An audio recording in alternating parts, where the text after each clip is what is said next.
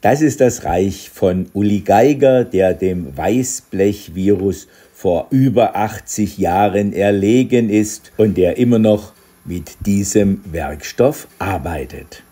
Alles dreht sich bei ihm um die Spur Null.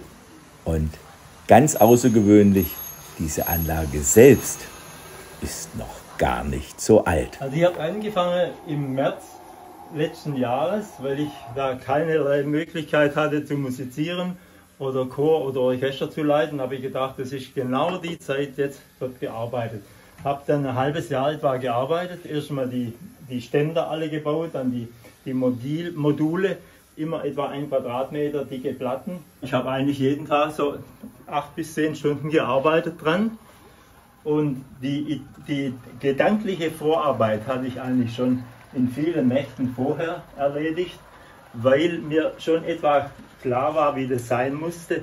Es musste in der Mitte ein großer Bereich sein, der von allen Seiten bespielt werden kann. Deswegen habe ich keine, äh, also kein Gleisbildstellpult gebaut oder eine Bedienung, eine Einmannbedienung, sondern jede, jede Weiche, jedes Teil wird genau dort gesteuert, wo es zu sehen ist, sodass mehrere Leute gleichzeitig immer spielen können. Beispielsweise ein gemeinsamer Spielspaß mit der Enkeltochter Kinga. Und dem Märklin Schrankenwärter, der pflichtbewusst bei jedem vorbeieilenden Zug sein Häuschen verlässt und ans Gleis eilt. Dieser Schrankenwärter wird ursprünglich für Märklin mit 20 Volt Wechselstrom angesteuert und brummt dann erheblich. Und ich habe festgestellt, dass der Schrankenwärter mit Gleichstrom und 9 oder 10 Volt fast leise seinen Dienst tut. Aber so richtig leise kann es gar nicht sein, denn hier rattern Spur Null Raritäten aus mehreren Jahrzehnten vorbei. Manche sind Neubauten, manche Sachen schon 80 Jahre oder älter. Und alles bestens in Schuss. Du bist die Kinga. Du bist Ja. Die Enkeltochter vom Uli, gell? Ja. Und was machst du hier? Mm, Ich habe Opa geholfen, das aufzubauen alles. Und ich habe die Figuren alle hingestellt. Und Die Kabel ja, die Kabel verlegt, gelötet, und Stecker montiert. und Stecker montiert. Und wie hast du das alles gelernt? Woher Opa du? hat es mir erklärt. Opa hat es dir erklärt und du hast es dann gemacht. Ja.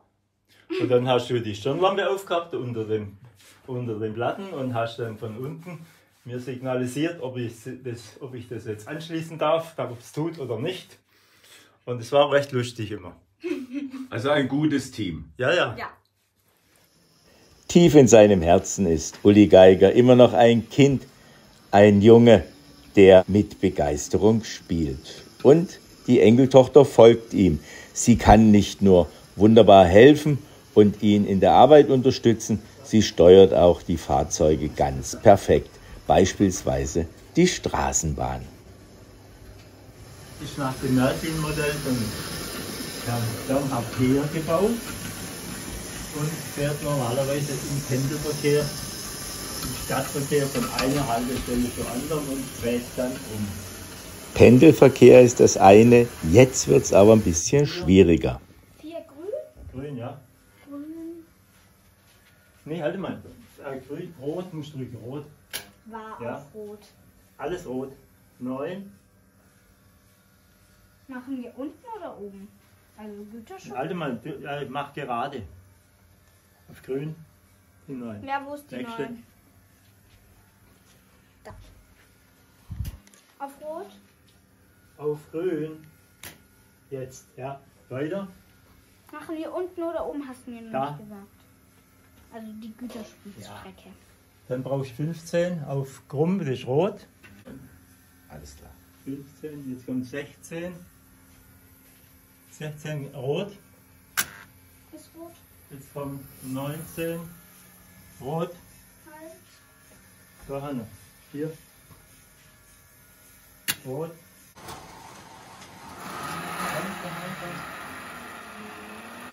Und jetzt ist eine Legende unterwegs, das Märklin-Krokodil. Es ist zwar nicht von Märklin, sondern eine Replika von Heer, aber im exakten Stil von Märklin gebaut. Einfach eine Augenweide, diese Maschine.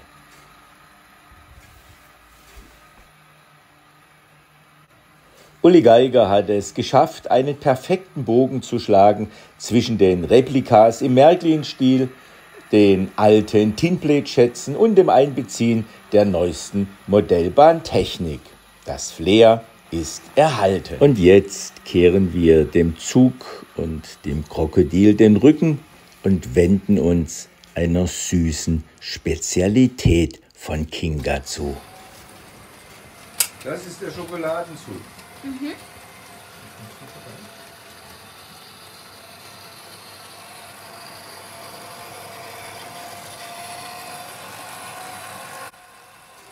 Der Schokoladenzug ist auf dem Weg in den Güterbahnhof zum Entladen. Einer Spezialität von Kinga.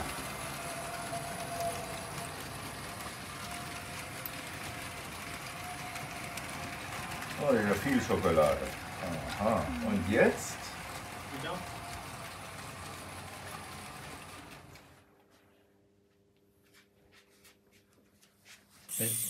Sag, was du machst. Also jetzt drücke ich auf den Knopf und der fährt vor.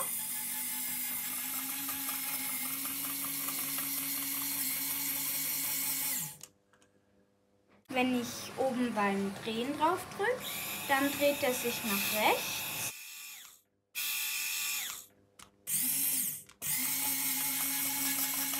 Ja, beim Ausleger, wenn man oben drauf drückt, geht es hoch und unten runter.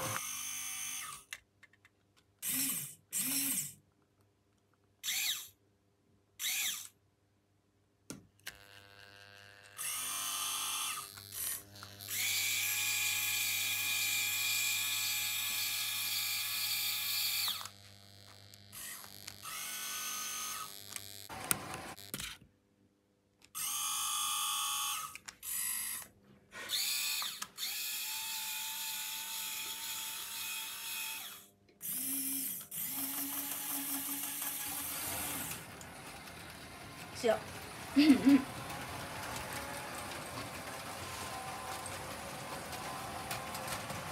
Und wie oft spielst du damit?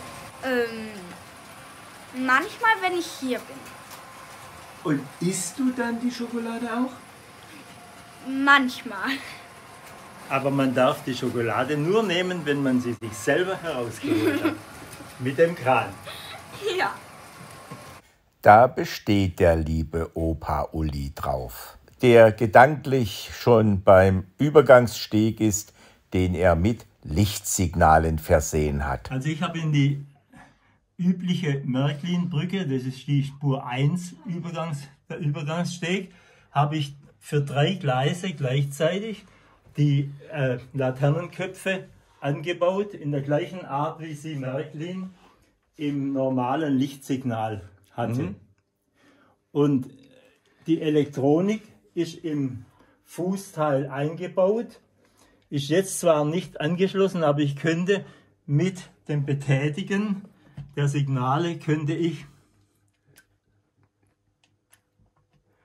die Gleise steuern. Uli Geiger ist ein Feingeist, nicht nur bei der Musik, auch beim Modellbau.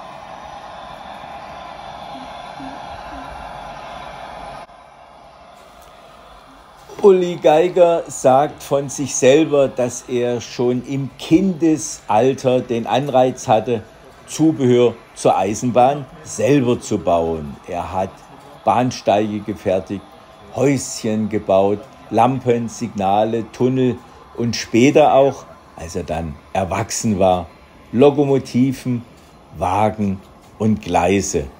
Aber alles aus Blech. Kunststoff, so sagte er mir bei den Dreharbeiten, kommt mir nicht ins Haus. Und das ist der größte Schatz von Uli Geiger, ein Bahnhof von 1904, ein prachtvolles Gesamtkunstwerk. Einmal ist dem Perfektionisten Uli Geiger ein kleiner Fehler unterlaufen. Er hat sich um einen Zentimeter verrechnet, als es um die Vitrinen geht. Da müssen die Bügel der E-Loks ziemlich nach unten gedrückt werden, aber genial wie er ist, hat er auch dieses Problem gelöst. Und jetzt kommt sein genialstes Bauwerk. Dieses Modell stammt von mir, ist Handarbeit und zwar nur ein Teil stammt aus dem Märklin-Programm. Das ist der Schienenzeppelin, ein Nachbau dieses äh, Versuchsfahrzeuges, das in den Anfang 30er Jahren vom Ingenieur Kruckenberg entworfen wurde, um die Bahn wesentlich schneller zu machen. Märklin hat es als Spielzeug gebaut gehabt. Dieses Teil stammt von Märklin und der, der Vorderteil. Und da das so plump und spielzeughaft aussah, habe ich es auseinandergesägt in der Mitte und so viele Teile eingebaut, um eine ansprechende Länge zu bekommen, etwa angelehnt an, denselben, an dasselbe Fahrzeug in Spur 1, das Märklin recht naturgetreu gebaut hat. Das Problem war nun, ich wollte unbedingt dieses Fahrzeug mit dem Propeller praktisch wie ein Flugzeug bedienen. Das heißt kein Motor, motorischer Antrieb auf die Räder. Dazu war notwendig, dass man die Räder mehr Präzisionskugellager eingebaut hat. Wenn man die einmal anschiebt, laufen sie fast eine Minute. Und das nächste Problem war, dass der Schleifer möglichst gewichtsfrei und völlig spielfrei läuft und auch mit drei Kugellagern bestückt ist. Und das fu funktioniert jetzt mit einem kleinen Motor, der 15.000 Umdrehungen in der Minute macht und das Fahrzeug tatsächlich wie, ein, wie einen Flieger auf Schienen fahren lässt. Meines Wissens ist es in dieser Spur das einzige Modell, das jetzt existiert, aus Blech, also mit, mit erheblichem Gewicht. Wesentlich einfacher wäre es, dieses Fahrzeug aus Styropor zu bauen.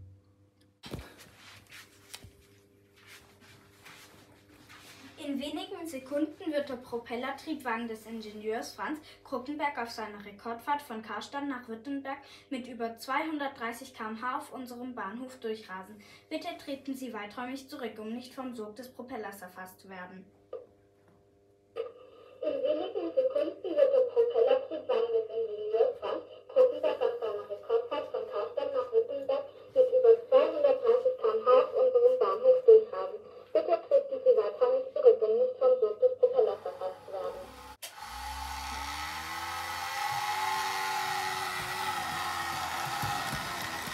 Und hier rast er auf 32 mm breiten Gleisen durch die Modellwelt.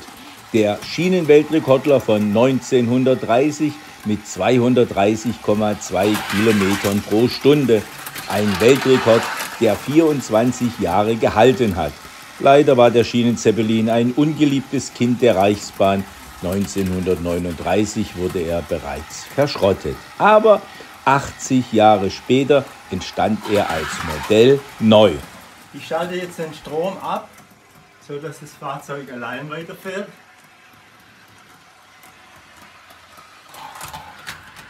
Was für ein Auslauf, was für ein geniales Fahrzeug. Darauf einen Tusch. Damit hat auch schon der kleine Uli geläutet, aber im Gegensatz zu Kinga hatte er keine Hühner. Und oben sind Hähne drin. Wir können auch das Dach aufmachen. Unten sind Hühner und oben sind Hähne. Mach mal Jetzt auf. Ach, lass das Dach drin. Hm. Das geht nicht. Nee, das Dach geht nicht auf, das ist zu schwer. Aber das sieht man nach Haaren. Da muss sie nämlich jeden Tag nach ihren Hühnern gucken. Sind das dein, das sind deine Hühner? Ja, meine und Claras. Okay. Su, sonst büchst dir auf. Es ist vielleicht gerade etwas untergegangen. Kinga hat ihrem Opa den Auftrag gegeben, dass er jeden Tag nach den Hühnern gucken soll. Nicht, dass aus Versehen eins weggeflogen ist. Aber alles ist in Ordnung, auch die Hähne sind noch alle da. ebenso ein technisches Kunstwerk. Und das da, die gibt es nur zweimal in Europa. Okay. Ein Original aus Ungarn, das aber Märklin nie zu bauen gewagt hat, weil es viel zu kompliziert ist. Ja. Und die, die habe ich nachgebaut, habe sie noch verfeinert und ein bisschen gesuppert. Inzwischen ist es so, dass bei dieser Weiche 14 Teile mit einem Druck auf den Magnetauslöser gleichzeitig bewegt werden müssen. Okay. Jetzt, ich kann das mal vorführen.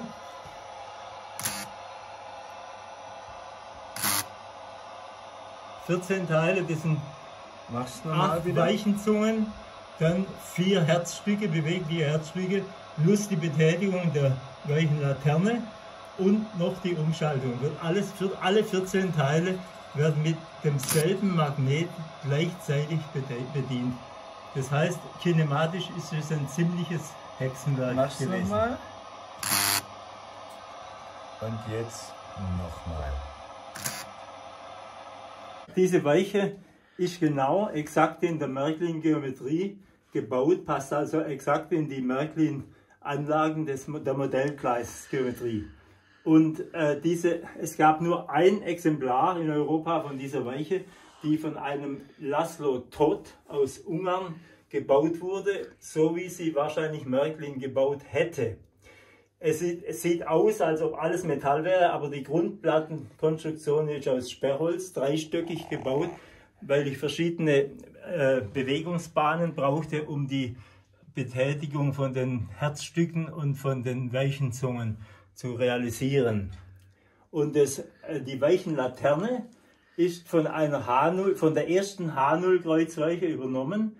Ganz schwierig war die äh, Bewegungsrichtung quer zur, zu den Schienen, zur Schienenrichtung in eine Drehbewegung nach oben umzusetzen, sodass die Anzeige auf der Weichenlaterne genau so gezeigt wird, wie die Weiche steht. Für die Weiche wurden mir mehrfach 500 Euro geboten, wenn ich sie nochmal bauen würde, aber meine Frau war da nicht ganz mit einig. Verständlich, der Bau der Kreuzungsweiche hat Monate gedauert. Ich könnte eigentlich alle Maschinen fahren lassen, die sind alle lauffähig, aber ich möchte einfacher drankommen. Dann habe ich mir einen extra Fahrtisch gebaut, mit dem ich jegliche andere Maschine direkt abholen kann. Lokschätze auf dem Rollbrett. Die habe ich selbst gebaut, die BR45. Da habe ich die Rohteile von jemandem bekommen, der sie nicht mehr bauen wollte und ich habe sie fertig gebaut. Dann äh, diese Maschine ist vom Chefkonstrukteur von Zeiss Icon auf dem Küchentisch gebaut worden. Es ist eine Echtdampfmaschine, die mit Gasfeuerung funktioniert und mit Fernsteuerung. Die anderen sind meistens Repliken von her, weil die einfach schöner laufen als die ursprünglichen alten Märklin-Maschinen, die bei mir in der Vitrine stehen. Mit dem fliegenden Hamburger geht es jetzt zu einem großen Fest. Ich habe da eine Hochzeit aufgebaut und ähm, da kommen noch mehr Leute. Sieht man hier, der läuft da mit ganz viel Gepäck rum und die kommen auch. Und die alte Oma hat sich aus Versehen in das Blumenbeet reingesetzt. Da. Den kann sie auch nicht mehr richtig, sonst hat sie sich nicht dahin gesetzt. Okay. Also ein bisschen witzig muss alles sein. Mhm. Wo ist denn das Brautpaar? Da drin. Die sitzen. Sieht man nicht. Die sitzen im Bus. Ja. Der Bräutigam und sein Schätzchen sitzen im Bus. Die Schätze von Uli werden wieder unter den Tisch geräumt. Und jetzt gibt es noch einen anderen Schatz, der losfahren soll.